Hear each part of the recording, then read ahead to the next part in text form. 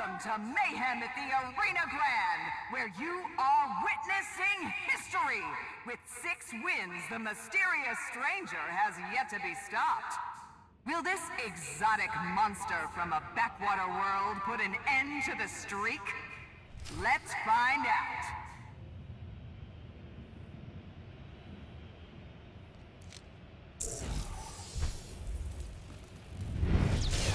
This encounter is relatively easy if you keep your companion close and you have a keybind on the passive ability so it can move next to you quickly.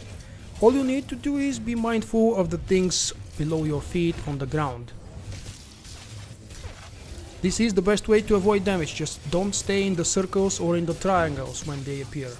When you see adds, they're very easily killable because they have low HP. Just stay close, Keep your companion close and AoE them. And after all, don't be too harsh on the little guy. he's cute.